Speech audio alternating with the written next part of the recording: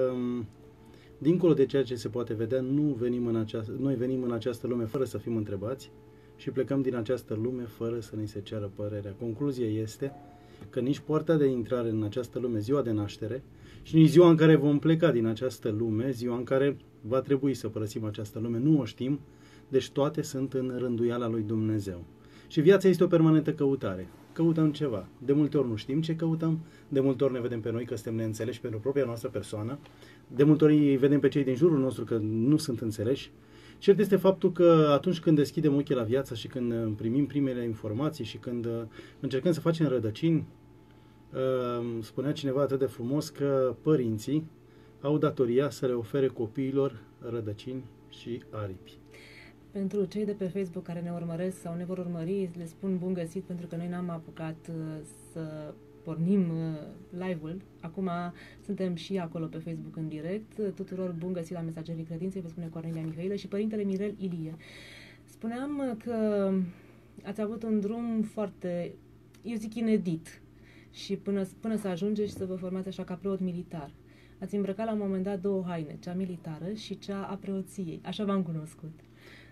Într-adevăr, așa este. Dar până la a îmbrăca haina militară, cum ați ajuns în armată? Cum s-a întâmplat să deveniți subofițer în armata română?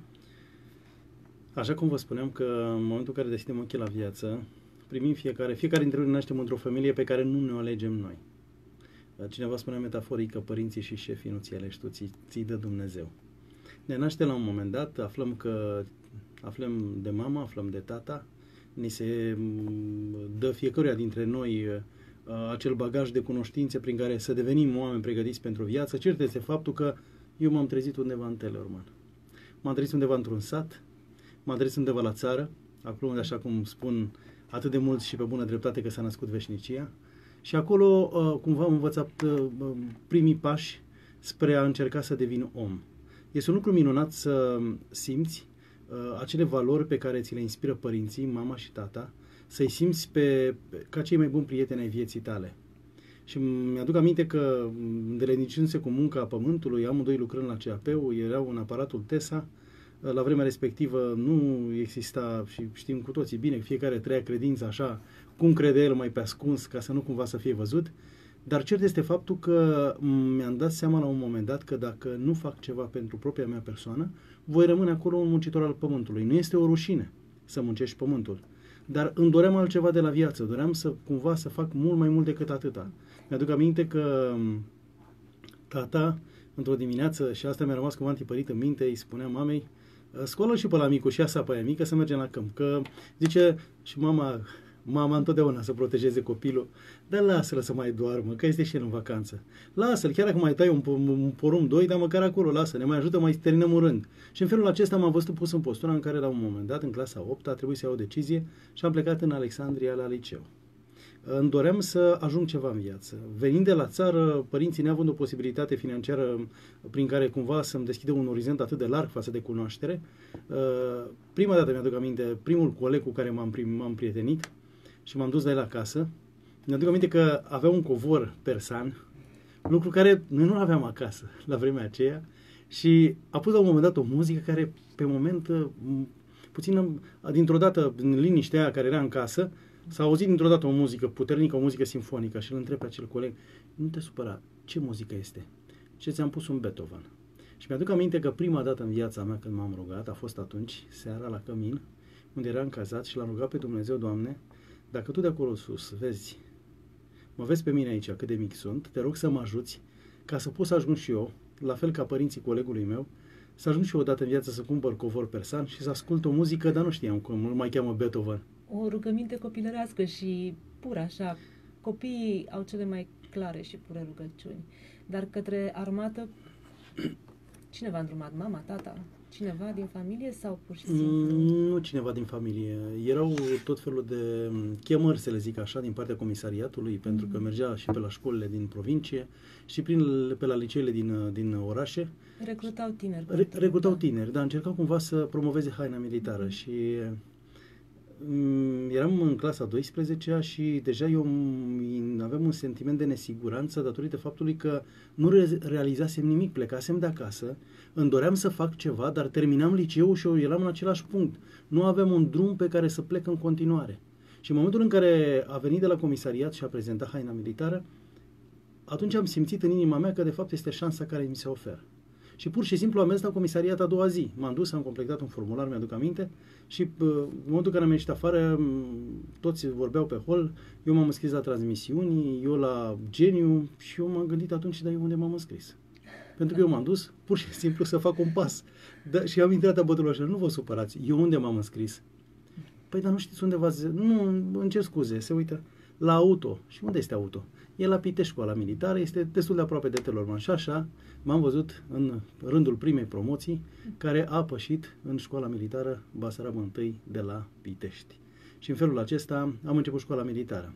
Școala militară care pentru mine a contat foarte mult. Acasă părinții încearcă întotdeauna să ne ofere ceea ce este mai bun. Poate viața pe care cumva am avut-o în sânul familiei, n-a fost o familie care să mă ofere neapărat acele valori, dar a sădit în sufletul meu dorința și dragostea aceea să-mi iubesc țara și să fiu un om cinstit. Pe de partea cealaltă, armata a venit și m-a format, m-a călit, mi-a dat o direcție și m-a ajutat să înțeleg că pe lângă a te iubi pe tine sau a iubi neamul din care faci parte, mai presus de tot este această țară care a fost cumva apărată cu prețul sângelui. Uh, foarte mult, nu știu, școala militară mi-a plăcut atât de mult, cu toate că uh, de multe ori poate că avem așa o stare de stres gândindu-mă la studiul de după amiază, că poate mă gândeam la sectoare, erau anumite lucruri care nu ne plăceau, dar uh, a cultivat acel sentiment de familie. Cu siguranță nu era ușor și nici pe departe cum este școala militară astăzi, dar uh, în București cum ați ajuns? Pentru că v-ați opriți la unitate militară de lângă București. Da, situația a fost de așa natură că împreună cu un coleg de școală militară care ne-am dorit să fim împreună, uh, el mi-a propus să luăm împreună repartiția în București. Având o medie destul de bună amândoi, prindem un loc în București. A venit, s-au afișat locuri, așa cum știm cu toții când, se, când are loc uh, la sfârșit alegerea locurilor, s-a afișat toate locurile și am ales amândoi în București. Și cu valiza în mână, eu căutam o unitate militară în București, care de fapt nu era nici de cum în București, ci eram undeva la 13-15 km lângă București, undeva în localitatea Clinceni. Și în felul acesta m-am văzut într-o zi, chiar era ziua mea de naștere, prima zi în care m-am prezentat la unitate, cu două zile înainte, trăgeam de geamantan și căutam o gazdă în apropiere de aerodrom. Am găsit o gazdă în localitatea în Bragadiru, în uh, Cornetu, în localitatea Cornetu, și mi-aduc aminte cu emoție, prima zi ne-am prezentat la unitate și a apărut un domn capitan care ne era de la poartă. Și la care, cumva, așa, încercând să pară mai dur după ce ne-a făcut prezența tuturor și ne-am prezentat, că ne-am prezentat să ne ducă la comandant, atenție la mine. În armată, vă zice, în armată să știți că sunt reguli. Nu știu ce a fost în școala militară, dar să știți că aici e severitate. Ați intrat într-o unitate militară de parașutiști. Să știți că aici, aici exigența este la cote maxime. Parcă m-a trecut așa un fior. Ne-a dus la comandant și prima zi ne-au lăsat liberi. Se executau parașutări pe aerodrom. Cu câtă emoție mă uitam la acei oameni care erau câteva punctulețe care apărau pe cer cumva în spatele avionului ANE 2 și stăteam cu emoții că nu, nu li se deschide parașuta, așa, eram atât de emoționat și colegii îmi spuneau la un moment dat, poți să te uiți, acum s-au deschis toate parașutele. Și în felul acesta, nu știu, îi vedeam ca pe niște eroi. Când au venit de la start și au trecut pe lângă mine, aveam o emoție. Parcă simțeam cumva că erau niște personaje care fac parte dintr-un film special. Uh, ne gândindu-mă că peste câțiva ani de zile, ca să-mi demonstrez mie însumi că și eu pot să fiu ca ei, m-am mutat de la compania transport undeva la compania cercetare.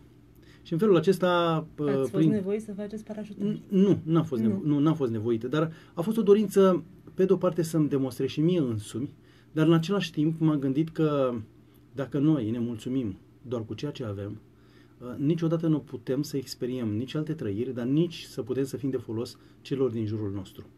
A nu face un lucru din teama că greșești, uh, eu cred că este mai, mai grav decât faptul să faci acel lucru, chiar dacă ai greșit, ai învățat din greșelile tale. Deci asta este un lucru extraordinar și dureros, e faptul că să înțelegi că uh, ceea ce tu faci la un moment dat poate să fie o experiență pentru cei care vor veni în urma ta. Parașutarea rămâne un reper și în ziua de astăzi pentru, nu știu, poate v-ați simțit atunci clar în mâinile lui Dumnezeu? Da, sunt momente în viața noastră când uh, nu avem atât de multă sau atât de mare încredere în propria noastră persoană. Pentru că uh, aici ne legăm de ceva, ne agățăm de ceva, avem o, cumva un, un punct de sprijin. Dar în momentul în care te faci, execuți saltul din, uh, din aeronavă, în momentul acela depinzi de acele suspante și de acea pânză, totul este în mâna lui Dumnezeu. În momentul acela există o luptă sufletească a tine cu, cu, cu tine însuți. Mă gândesc că mi-ar fi teamă, personal vorbind. Și atunci, singurul lucru pe care îl fac ar fi o rugăciune în momentul în care m-aș parașuta, este, măcar prima dată. Este acel hău în care te arunci. Da. Uh, în momentul în care făceam instrucția pentru parașutare, uh, trec peste perioada aceasta și merg undeva câțiva ani de zile în față, când am devenit instructor pentru parașutare. Întorcându-ne înapoi, unde am uh, lăsat discuția, uh, mergeam la, um, pe aerodrom și făceam instrucția pentru parașutare. Uh, pe lângă teorie, pe lângă partea practică, pe lângă partea de instrucție cumva care avea loc acolo, era și timp destul de mult în care puteam să purtăm foarte multe discuții. La vremea aceea încă erau militari în termen. Și aveam un, o grupă de soldați care discutam la un moment dat despre existența lui Dumnezeu.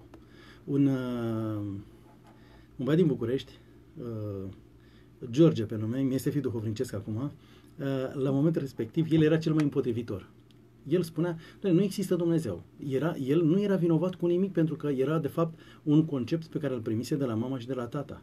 Părinții lui erau declarați cumva liber cugetători, pentru ei nu exista nimic.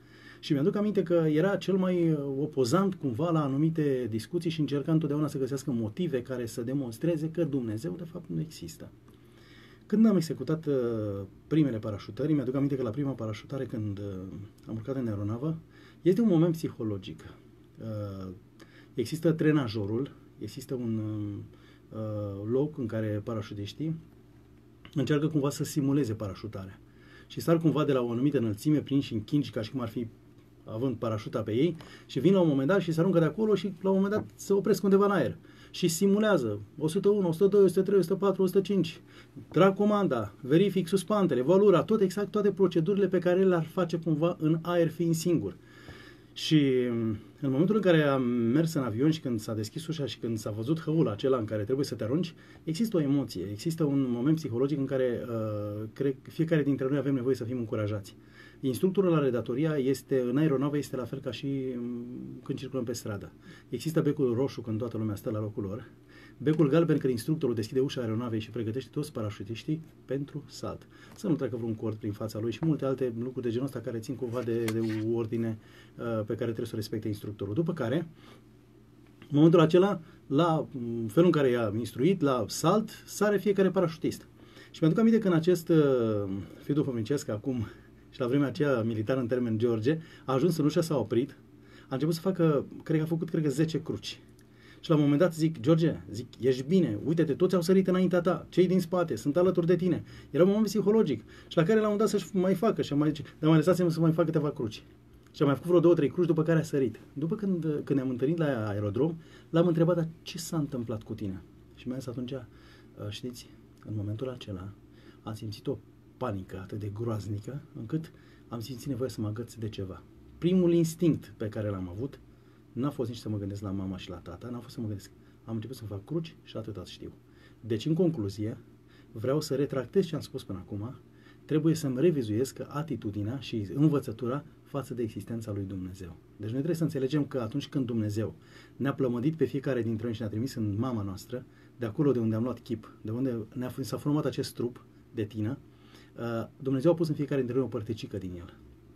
Da, fără să ai niciun fel de îndemn spre credință, spre biserică și tu să conștientizezi că Dumnezeu există și că te poate ajuta, atunci cu siguranță că nu pornește decât din fiecare dintre noi. Din fiecare dintre noi și mi-aduc aminte, vă spuneam, deci pentru... Uh, m-am văzut cu, după cursul uh, pe care l-am uh, făcut la Buzău, la școala de aplicație pentru parașutiști, m-am văzut cu acte în regulă printre colegii mei executând salturi. Am avut, mi-aduc aminte, în, la Buzău pe domnul capitan Popescu la vremea aceea, care ne-a fost coordonator și instructor. Și am avut, uh, atunci, pentru prima dată în viața mea, am simțit cum uh, în mintea noastră există o arhivă pe care Dumnezeu uh, ne-a rânduit-o acolo și noi avem acolo cumva depozitate toate informațiile despre viață, dar și ceea ce de fapt noi nu știm că am putea deține. Informații despre faptul că sus ne așteaptă un Dumnezeu. Anume că la prima parașutare am uitat total de comenzi, am uitat de tot. Atât singurul lucru când m-am văzut că eu vin către pământ și mm, cu parașuta deschisă se coboară cu 5-6 metri pe secundă, dar uh, ne mai ținem cont de faptul că și căderea este oblică, în momentul acela am văzut uh, fire din altă tensiune. În momentul acela m-a cuprins o teamă atât de, de, de, de, de, de profundă, încât mi s-a derulat prin fața ochilor imagini pe care eu niciodată nu știam că le dețin anume, primii pași pe care am făcut în viață, când mama... Și n-ai cum să-i ții minte. N-ai cum să ții minte. Am văzut-o pe mama cum stătea și îmi făcea sens să vin către ea. M-am recunoscut într-o fotografie făcută, care o am de când eram copil, îmbrăcat așa cum eram acolo, cum eu încercam să fac primii pași și mergeam și am căzut la un moment dat teama aceea copilului când face primii pași, pentru că este ceva inedit pentru el, de neînțeles, și se aruncă jos la pământ. M-am gândit ce m-a apucat pe mine să mă apuc de parașutări. O să cad acum pe fire de înaltă tensiune și gata, s-a terminat totul. Dar mi-am dat seama că trecusem deja de file de înaltă tensiune și venea un tren. Zic, măcar cad în fața trenului, bine, da. măcar cad în fața trenului, rămân fără un picior, fără o mână, dar există șansa să trăiesc. Și mi-aduc aminte că la un moment dat era un cioban care tot striga să nu caz cumva pe oile mele, dă într-o parte. Am plecat atât de, de busolat către, către linia de start și m-am dus la domnul capitan Popescu și am spus, domnul capitan, nu știu ce se întâmplă. Toți colegii mei spun că au tras de comenzii stânga, în dreapta, bă, ăla a făcut nu știu ce, ăla a făcut nu știu cum. Eu știu că m-a cuprins o teamă teribilă și atâta tot. Mi-a fost frică că mor. Și la care îmi spune, mângâindu-mă așa puțin pe crește, lasă-i în pace și ei sunt la fel ca tine. Diferența între tine și ei este faptul că tu ai puterea să recunoști, ei nu.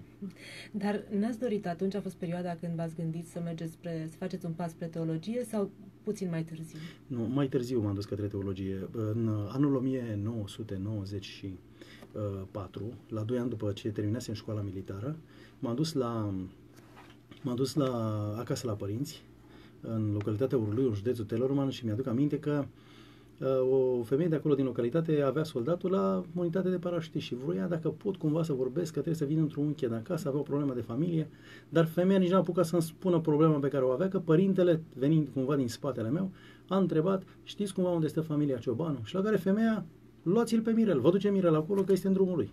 Și am plecat cu părintele, din bun simț față de părintele, l-am întrebat că am avea câteva întrebări. Citisem foarte puține capitole din Geneză, mm. Din facere, din primele capitole din Vechiul Testament. Da, începutul Bibliei. Începutul Bibliei. Și părintele atât de frumos mi-a vorbit încât eu n-am realizat căci noi ieșisem cumva 2 km din localitate. Ați mers 2 km în plus, părintele știa, dar deci nu am ieșit din localitate, ne-am dus pe câmp efectiv și părintele, nu, părintele vorbea în continuare. Când m-am trezit la un moment dat și m-am uitat, părinte, dar noi unde am ajuns? Nu este o problemă, important e un lucru că ne simțim bine și stăm de vorbă și stăm despre Hristos. Ai ce lecție frumoasă. Părintele acesta a schimbat fața localității. Atunci am înțeles un lucru. Cel mai mare păcat pe care omul poate să-l aibă în viața lui este să trăiască în păcat. Și cel mai frumos lucru este să conștientizezi că, de fapt, păcatul este un perete despărțitor. Și chiar și în viața de zi cu zi. Nu vorbesc acum și mă refer la latura sufletească. Punem problema unei vieți morale. Dacă un coleg de-al nostru dacă un prieten al nostru are în viața lui acea trăire frumoasă și profundă, păi de fiecare dată merge să cerem părerea pentru că știm că este un om cu principii, un om care are niște valori morale la care se raportează, care nu face rabat în viața lui de nimic. Pentru că este, este de multe ori atât de dureros și vedem că sunt atât de multe prăpastii între oameni și noi în loc să construim poduri, noi facem garduri. Adică, de fapt, acea atitudine prin care nu știm cum să ne raportăm la cel de lângă noi. Cert este faptul că uh, părintele știa un singur lucru mi-a scos Dumnezeu în cale un rod și eu nu trebuie să-l pierd. Ce de faptul că l-am invitat acasă. Părinte, dar mă duc, e ploase. Unde stăm acum, unde stăm e, pe uliță, era destul de cumva pământul umed. Părinte, dar mă duc să iau o pereche de cizme. Nu, stai liniștit, nu e o problemă, mergem. Mi-aduc aminte că am stat cu părintele de vorbă, cred că vreo trei ore. Cert este faptul că după ce a plecat, a rămas cu un ecou în inima mea, a rămas cu o liniște, a rămas cu o pace și avem un gând care nu mai îmi dădea pace. Care e scopul existenței tale? Foarte mulți, foarte mulți, mai ales dintre cei care n-au cunoscut credința în perioada comunistă și și-au dorit foarte mult să înțeleagă sensul vieții și au pus această întrebare, nici ei nu-și explică de unde. Am vorbit cu ei, am cunoscut de-a rândul emisiunilor noastre, poate n-am pus accent pe chestia aceasta, dar, într-adevăr, undeva a existat mereu și mai ales la tineri. Nu există tânăr, cred eu, care să nu-și pună la un moment dat întrebarea aceasta. Care e scopul meu aici? Ce caut eu pe pământ până la urmă? Că nu caut îmbrăcăminte, bani sau cine știe ce distracții. Nu ăsta e sensul vieții. Nu se poate să fie doar atât. Și moartea să nu mai... Să, să ne rupă cu totul de orice. Chiar vorbeam zilele trecute cu cineva și îmi spunea că nu prea pricepe moartea, nu înțelege. Nu cred că suntem născuți să pricepem moartea, ci pur și simplu este o poartă, o trecere. Sigur că toți ne uităm cu, cu teamă în fața ei, dar revin totuși la o întâlnire atât de frumoasă. Și cred că fiecare dintre noi avem întâlniri în viață. Important este să avem curajul și să spunem, da, ne place întâlnirea asta, haideți mai stați un pic cu mine. E, da. e cel mai, lucru cel mai minunat și lucru cel mai uh, important în viața unui om, din punct de vedere al raportării la propria lui persoană, este să fii sincer cu tine și să-ți dai seama, în primul rând, cât poți și ce poți. Și atunci, în raport de asta, stabilești ce vrei. Pentru că dacă, vedeți, în Sfânta Evanghelie este o pildă pe care Mântuitorul ne spune cu talanții. La unul i s-a dat doi talanți, la unul cinci, la unul zece avem uh, cumva datoria să mulțim acest talent pe care Dumnezeu ne l-a dat. Și tot Dumnezeu ne călăuzește pașii, pentru că, iată, cu dumneavoastră n-a dorit să rămâneți parașutist militar sau acolo în unitatea aceea, ci a schimbat, poate că nu v-a plăcut cum, dar a schimbat drumul, macazul vieții. Dar n-am crezut eu, unul personal, în momentul în care m-am apropiat de Hristos, am simțit nevoia să vorbesc despre Hristos și să împărtășiți să bucuria împărtășesc asta, nu? bucuria pe care o cunoscusem eu. La un dat colegii au crezut că am luat-o razna. Domne, eu cred că săracul s-a îmbolnăvit. Mi-aduc aminte că la vremea aceea șef al cercetării era domnul colonel Chirănescu și dânsul era un om foarte practic, era foarte exigent și de câte ori mergeam cu dânsul spunea că tu, te, tu trebuie să te faci preot. Așa, fără niciun motiv. Fără niciun motiv, dar nu să nici n-am teologia. La vremea aceea nici măcar nu începusem nici dreptul, nici teologia. Dar eu nu am, n-am, n-am pregătirea. Ați făcut și facultatea de drept. N-am finalizat-o. M-am oprit la un moment dat, tocmai datorită faptului că m-am întrebat către teologie. Pentru că dânsul spunea atunci, zice, tu, tre- tu, tu trebuie să te faci preot.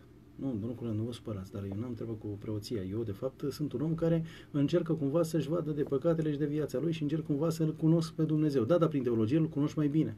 Nu, eu nu vreau. Teologia înseamnă, de fapt, o haină prea grea. Dar gândul acesta a lucrat în mintea dumneavoastră. Dar recunosc că la un moment dat m-am gândit, pentru că m-am luptat, cum spuneați, că fiecare tânăr are acest ecou al care e scopul existenței mele. E o întrebare care întotdeauna m-a urmărit, dar de fapt n-am încercat cumva să mă focusez asupra ei, ci m-am gândit în primul rând la implicațiile care le poate avea în viața celorlalți. Pentru că Dumnezeu lucrează prin oameni. Și noi la un moment dat există riscul să ne greșim cumva alegerea în viață să ne apucăm de orice altceva, nu de ceea ce de fapt Dumnezeu a rânduit pentru noi. Dar asta nu conștientizăm foarte ușor nu realizăm. și bine, da. Ne dorim. Din păcate, societatea în care trăim e o societate care este oarecum pervertită. Oamenii cumva au schimbat sistemul valorilor. Din păcate, foarte mulți părinți doresc să facă din copiii lor ceea ce de fapt ei n-au fost sau n-au putut să ajungă vreodată. Și încearcă cumva în ei să investească, uh, nu neapărat dintr-un orgoliu, dintr-o ambiție poate, copiilor să ajungă ceea ce de fapt ei își doriseră să ajungă odată.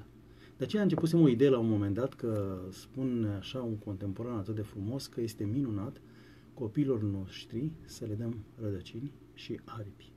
Rădăcini să nu uite unde au casa și aripi să nu uite unde este cerul.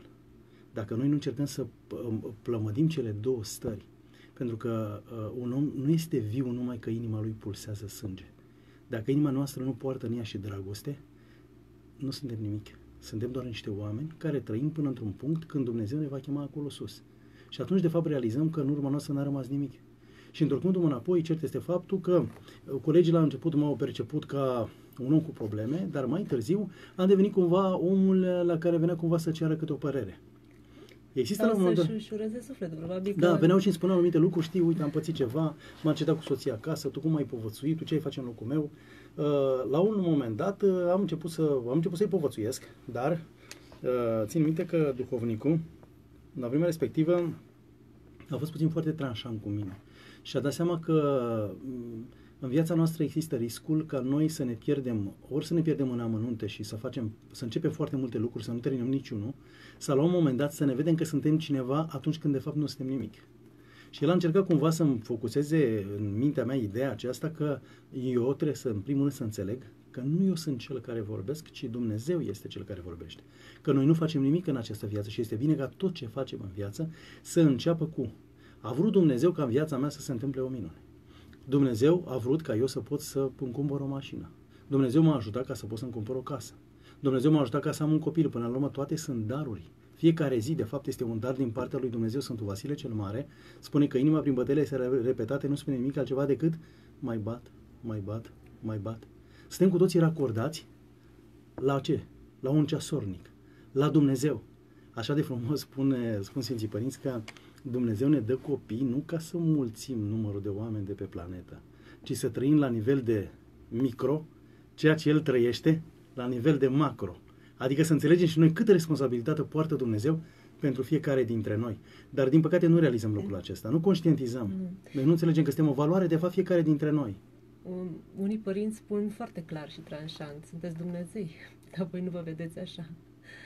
Pentru că noi suntem chipul lui Dumnezeu și l-avem pe Hristos în noi.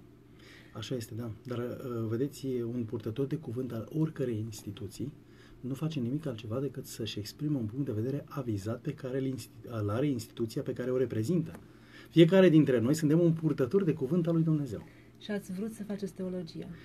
Uh, sincer să vă spun, nu prea am vrut să fac teologie. Deci, atunci cum se întâmplă? E o problemă, că știți ce se întâmplă dacă mi este teamă de ceva? Mi este teamă de faptul că tocmai ce n-am vrut eu în viață să fac, aia s-a întâmplat.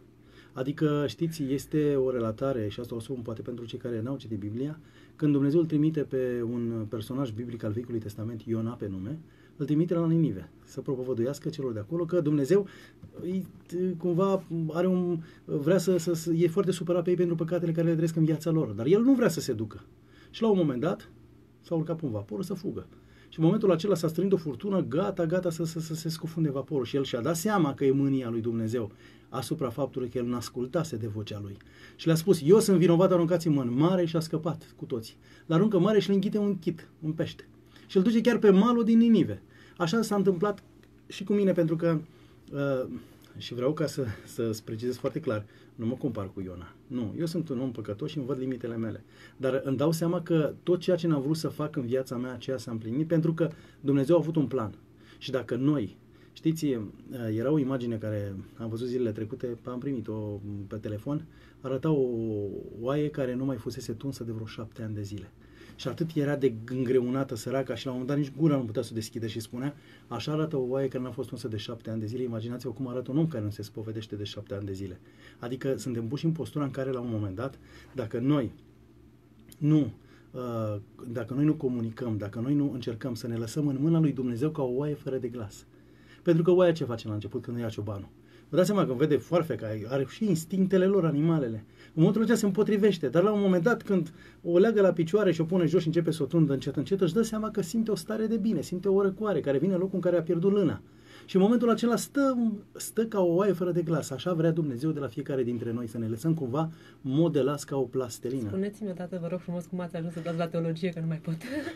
nu mai am răbdare. Deci am ajuns, am, am mutat de la, la, de la brigada de parașutiști, am avut o problemă la parașutare la, mi-am cumva la, la piciorul drept meniscul mi l-am uh, am avut probleme la o parașutare pe timp de noapte uh, și am ajuns la corpul de control și inspecție. Unul V-ați dintre... supărat atunci când s-a întâmplat accidentul, uh, probabil, că, mm, sau mă rog, această deplasare? Această, nu, eu îmi doream să merg cât mai înainte, dar are Dumnezeu un plan, ne oprește. Exact. Până acolo trebuie să mergem. Mai departe nu mai este. Drumul nostru, de fapt, e ca la... Pentru că trebuia să ajungeți în altă parte. Trebuia să ajung în altă parte. Da, Există da. o altă lucrare. Și lucrul acesta îl vedem și fac doar o scurtă paranteză. Sunt momente în viață când îți dai seama că sunt oameni de care Dumnezeu se folosește. Vă mărturisesc cu toată dragostea și recunoștea și vreau ca să toți să luăm aminte despre chestiunea aceasta. Sunt oameni pe care Dumnezeu îi folosește în lucrarea Lui și oameni de care Dumnezeu se folosește. Și sunt oameni care la un moment dat mi-au intermediat cumva întâlnirea cu cineva care avea nevoie de ajutor. Și acel cineva a dispărut cumva pentru totdeauna din peisaj, în ideea în care el și el până la urmă avea nevoie de un ajutor din punct de vedere sufletesc. Nu că nu era în planul lui Dumnezeu, nu. Pentru că omul acela nu are canalizată voința lui către Hristos. Este ca, o, ca și un recipient pe care noi îl acoperim. Dacă îl acoperim, niciodată nu o să punem nimic în el. Dacă îl lăsăm descoperit, atunci putem să punem. Tot la fel, în felul acesta, are Dumnezeu un plan și te mută, îți mută cumva, schimbă direcția, ca și trenul. Schimbă macazul cumva. Și te duce într-o, nu cum te duce într-o altă direcție, te duce acolo unde trebuie să ajungi.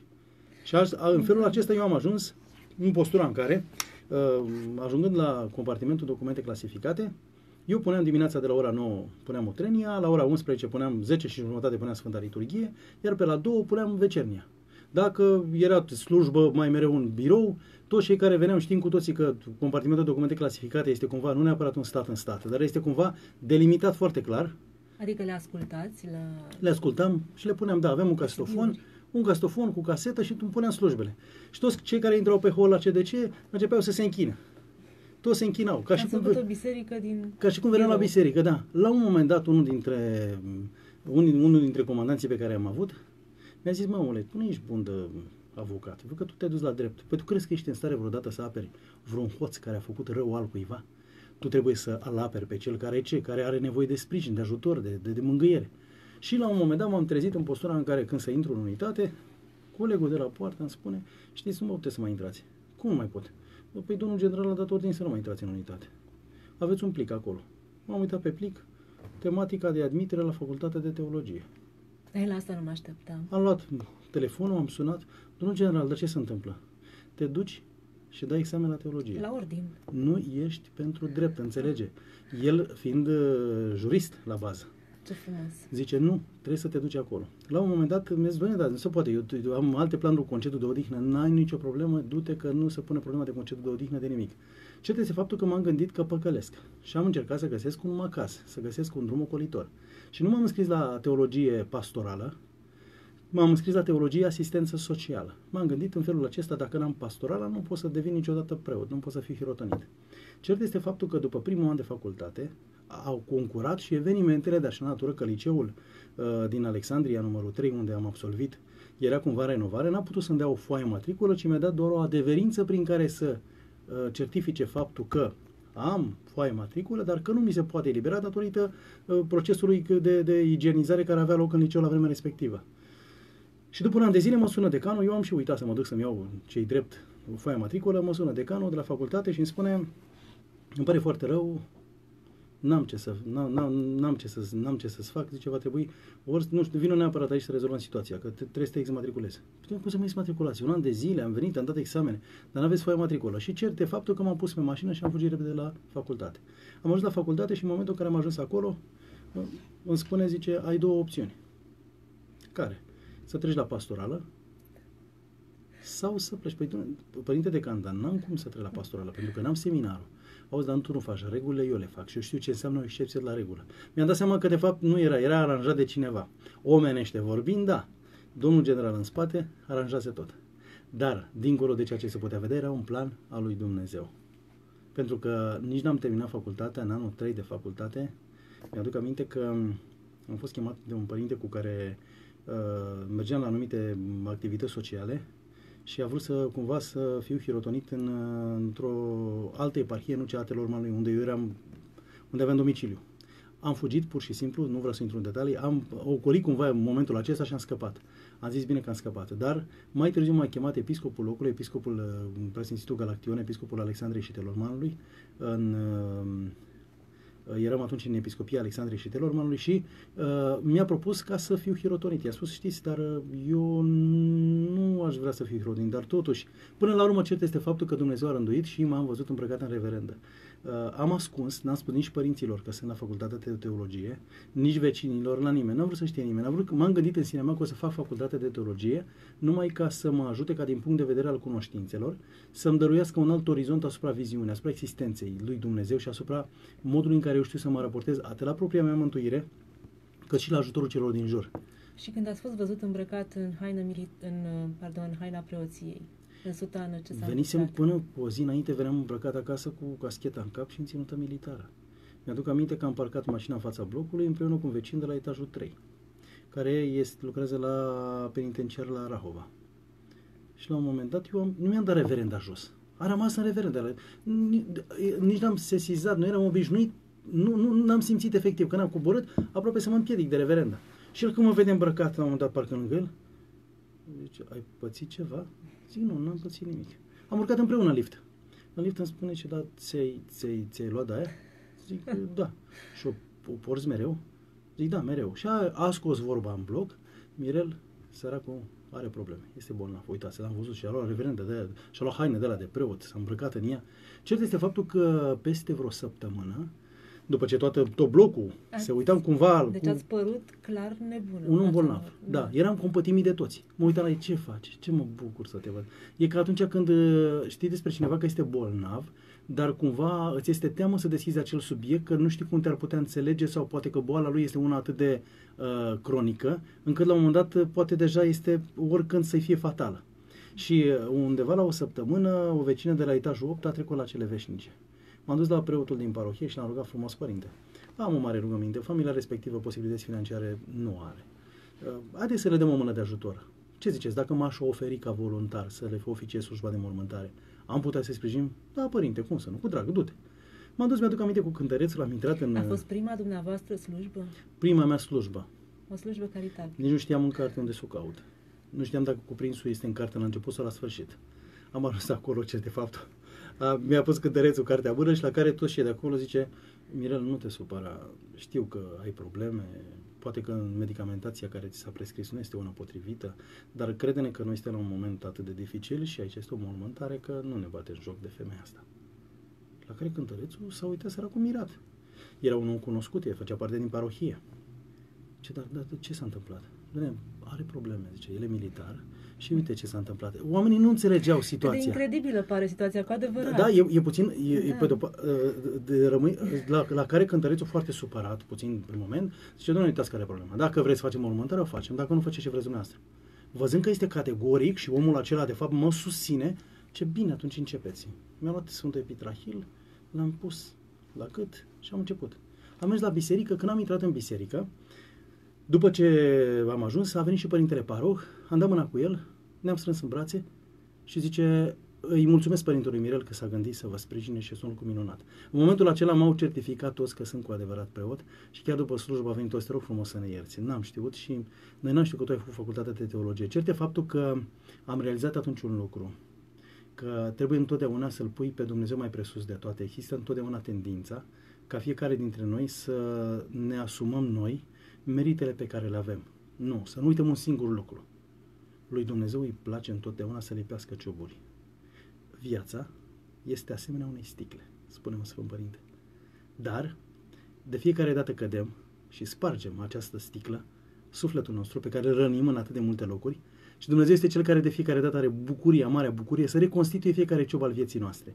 Fiecare trăire, fiecare stare, fiecare greșeală, fiecare părere de rău, să strângă fiecare lacrimă din sufletul fiecărui om care înțelege că ne despărțim de fapt de ceea ce suntem noi atunci când ne rupem de dragostea lui Dumnezeu. Și în felul acesta am ajuns am ajuns uh, preot uh, rânduit de preasfințitul Galaction în uh, penitenciarul Rahova, unde am stat uh, 2 ani de zile uh, să ajut deținutele din județul Telorman. După care de acolo am plecat la așezământul de bătrâni din Ciolpani, La fiecare dintre ele ați strâns câte ceva. Ați strâns învățăminte și fiecare v-a pregătit pentru mai departe. Uh, Despre Ciolpan știu că acolo ați învățat iarăși dintr-o poveste incredibilă, practic, sau așa mi se pare ascultând-o, dar ați trăit-o pe propria piele, ați învățat uh, limbajul surdomut. Într-adevăr, eu aveam uh, în sala azilul de așezământul de bătrâni din Ciolpani 9 ani de zile. Și ați trăit și experiențe extraordinare acolo care merită Fantastice, fantastice. Deci pomenite dacă am, pentru cei care cred. dacă Da. am putea înțelege noi cât de minunat este Dumnezeu și că niciodată nu ne lasă pentru, uh, m, pentru rugăciunile mamei, ale tatălui, pentru dragostea și bunătatea pe care noi am avut-o noi în această viață. Sunt oameni care sunt buni din fire. Sunt oameni care sunt buni din fire. Vă spun sincer că oameni care cred în Dumnezeu am văzut foarte mulți. Dar oameni care se tem de Dumnezeu am văzut foarte puțini. Pentru că începutul mântuirii, de fapt, este teama de Dumnezeu. Adică eu mă gândesc că nu vreau să-L supăr pe Dumnezeu. Ați văzut un copilaș... Teama aceasta de a nu-L necăji, de a nu-L supăra pe Dumnezeu, nu teama că, aoleu, pățești ceva dacă fac În tare tocmai. Da. Mi-aduc aminte acum 2 ani de zile, am găsit uh, la scara blocului vecin, pe, s- uh, stă, stând pe scări, un copilaj de vreo 9 ani plângând. Și m-am gândit că s-a pierdut, poate nu știu unde este. M-am așezat lângă el, zic, îmi permit să stau lângă tine? Da. Dar ce s-a întâmplat? Ai pățit ceva? Știți? Astăzi, în loc să iau 10 la școală, la 9. Și așa de mâhnit sunt. Dar de ce? Știți cât de mult mă iubește mama și cu tatăl meu? Și mi este jenă. Cum o să le spun eu acasă că am la 9 și n-am la 10? Dar ei te ceartă, obișnuiesc să te certe, să te bată. Nu, zice, niciodată nu m-a putut. Dar nici nu m-au certat niciodată, dar mă iubesc prea mult și nu știu cum să le spun ca la 9. Și mă gândeam plecând de acolo, copilașul acesta în conștiința lui, respectul pe care îl avea față de mama și de tata atât de profund era încât n-avea o notă proastă. Luase nouă. Și totuși lui era jenă că cumva i-a dezamăgit. Nu că ei erau părinții aspri. Nu. Nu știu câți dintre noi avem bucuria ca ai noștri copii să gândească lucrurile acestea despre noi. Cel puțin eu recunosc că nu am ajuns la calitatea asta de părinte și nu pot să spun că nu dor cuvintele astea când le aud. Mi-aș dori să-i arăt copilului meu că îl iubesc foarte mult și să nu mai fiu aspră, exigentă cu el. Exigența părintelui este exigența aceasta tot din dragoste vine și din dorința de a îl vedea pe copil că reușește în viață foarte bine, dar nu este ceea ce trebuie să facem, ci copilul să trebuie să simtă maximă dragoste de la părinte. Într-adevăr, dar e o durere mare, pentru că sunt mm-hmm. părinți care cresc copiilor după scheme, da, după tot felul de principii pe care le citesc pe, nu știu, în, exact. în, în, în lumea virtuală sau în orice gazetă. Pe de partea cealaltă, ne dorim că, și întotdeauna când merg, când merg, văd cu părinți care merg la școală și uh, numele de familie la au Ionescu. Și când întreabă ce nu vă sperați Petrescu, cât a luat la matematică, de la român. Le recomand adică tuturor ca și într-o mie. competiție. Da, Anti-Parenting este o carte a lui Savatie Baștovoi pe care am citit-o cu mare, mare bucurie și interes și m-am bucurat enorm că a scos această carte, că a editat-o și că ne-a pus-o nouă la dispoziție părinților din acești ani. Uh, Uh, acum, ce să facem? Un ultim sfat, pentru că ne apropiem din nefericire, zic eu, de sfârșitul acestei ediții. Ne oprim puțin la Ciolpan și sper din suflet să continuăm uh, într-o emisiune viitoare de aici Toată încolo, pentru că și de aici sunt atât de multe lucruri minunate de povestit și încurajatoare pentru fiecare dintre noi, pentru că uh, care e scopul acestei în, întâlniri și acestui gen de discuție. Dacă dumneavoastră vi s-a întâmplat așa, dacă celuilalt vi s-a întâmplat așa, dacă pentru el se poate, atunci cu siguranță se poate și pentru mine. Și atunci eh, poate reușim să ne lăsăm mai mult pe noi deoparte și toate dorințele noastre care nu întotdeauna ne fac nouă bine și să vedem ce ne-ar face cu adevărat bine. Și să mergem la Dumnezeu și să-L întrebăm și să rugăm să ne ajute să mergem pe calea aceea strâmtă, poate grea, poate colțuroasă, dar care să ne facă bine. Și atunci vorbeam că uh, un ultim sfat. Ce, fac, ce să facă părinții care sunt în situația asta de simt că ei, copiii lor, nu au acea relație de afectivitate care să îl facă pe copil să simtă ce a simțit copilul despre care tocmai l-ați povestit. Eu cred că primul lucru trebuie să le inducem copilor că suntem cei mai buni prieteni ai lor înainte de a le fi mamă și tată. Uh, trăim într-o lume în care alergăm de dimineață până seara. Uh, cunosc oameni care au câte colegi militari, da. care au câte două joburi, trei joburi. Nu mă refer la altcineva. Încerc, încercăm cumva să ne plătim ratele cât mai repede, să nu devin cumva devenim datori pe nu știu câți ani. Cert este faptul că noi uităm să comunicăm cu copiii noștri. Și dacă am greșit, ce facem? Dacă am greșit, da, este bine să încercăm să, să ne gândim că nu acea tabletă pe care i-am cumpărat-o sau telefonul mai scump ne face părinți buni înaintea copilului nostru, ne face părinți buni comunicarea, comunicarea cu propriul nostru copil. Mi-aduc aminte și cu asta chiar vreau să închei uh, de acel copil care îl întreabă pe, pe tatălui, tată, zice, la tine la muncă, tu câștigi mulți bani? Da, tati, cum să nu? Eu câștig foarte mulți bani. Și cu câți bani câștigi într-o oră? Ce păi eu într-o oră câștig cam vreo 30 de dolari. Că se raporta la dolari. La care zice, atunci mai aștept puțin. Ce? Am 25 de dolari și aș vrea să mai cumpăr 5 ca să ți-i dau, să cumpăr o oră din viața ta, să poți să stai de vorbă și cu mine. Da, deci să îmbrățișăm copilul, să îi cerem iertare, chiar dacă orgolul nostru de părinte pare zdruncinat, dar sub nicio formă nu e zdruncinat, să îl îmbrățișăm mult, mult de tot și să-l pupăcim foarte tare, vorba părintelui Necula. Și nu toți da. copiii sunt la fel încercăm să facem din copiii noștri, spuneam mai înainte, ceea ce ne-am fost noi. Încercăm întotdeauna să, să tragem de ei, să avem, aibă numai note bune, să aibă numai... Fiecare copil are capacitatea lui, fiecare copil are darul lui dat de Dumnezeu. Eu vă mărturisesc din propria mea experiență. La examenul de capacitate, băiețelul n-a făcut... De, de, s-a pierdut pur și simplu și a avut o notă foarte proastă. Și bineînțeles că nu ne-am dus către ceea ce puteam să ne ducem. A trebuit să așteptăm a doua repartiție computerizată, să putem cumva să mergem acolo unde ne-am dorit noi. Dar vă spun din suflet că îi mulțumesc lui Dumnezeu că unde vreau noi să mergem poate era un moft. Dorința unui tată și a unei mame ca să aibă copilul la un liceu bun. A ajuns președintele comitetului de elevi pe școală la liceu în care a fost și este o vorbă care spune că decât un, se spune la un moment dat, decât o cioară la oraș, mai bine un vultur la țară. Mulțumim, Părinte, mulțumim din suflet, vă reașteptăm grabnic să continuăm povestea de dumneavoastră de până acum, cât o cunoaștem noi și să ne fie un exemplu cu adevărat. Preveniți, da? Cu toată dragostea. Eu vă mulțumesc din tot sufletul, îmbrățișez pe toți cei care ne-au ascultat, pe cei care ne vor asculta și mulțumim lui Dumnezeu că ne dă puterea ca să învățăm din greșeli Sunt. și acolo unde am greșit noi să arătăm și altora să nu calce. Sunt, sunt și mulți prieteni pe Facebook care ne-au trimis, v-au trimis mesaje, de fapt, și de drept, și nouă, și dumneavoastră mai ales. Dumnezeu să binecuvânteze pe toată lumea și să ne învețe să fim mai buni. Părintele Mirel Ili a fost alături de noi. Rămâneți cu vocea armatei și